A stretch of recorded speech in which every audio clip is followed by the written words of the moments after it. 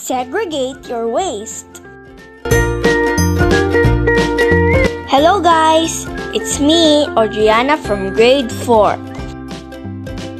I'm going to show you ways of segregating trash. What does that mean?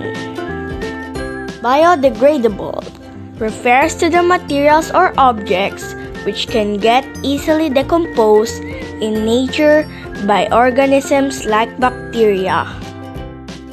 When something is biodegradable, it means it decays or breaks down, thus returning its substances and nutrients to the soil.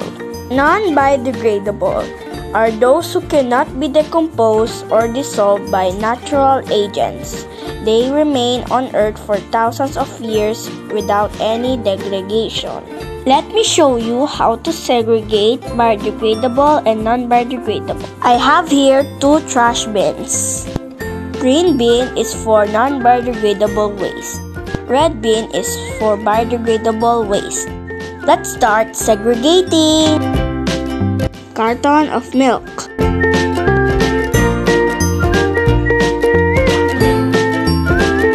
That's right. Can of soda. That's right. Wood. That's right. Empty plastic coffee cup.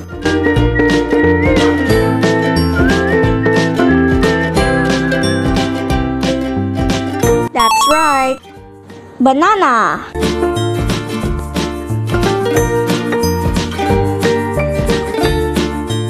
That's right. Tire.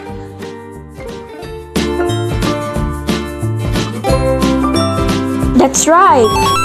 These are the trash that I collected in my trash bins. Non-biodegradable. Biodegradable.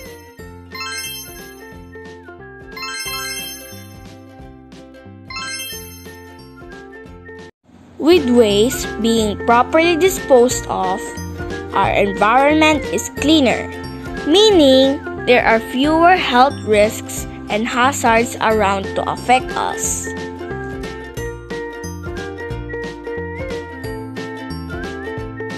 It also lessens the chances of illness and diseases being spread through the air, reducing the risk of respiratory illnesses.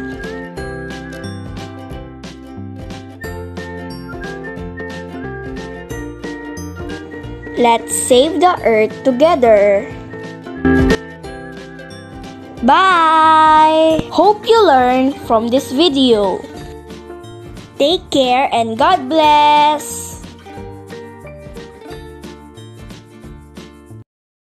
Prepared by Adriana M. Diwata. Submitted to Elsie Perez Selga.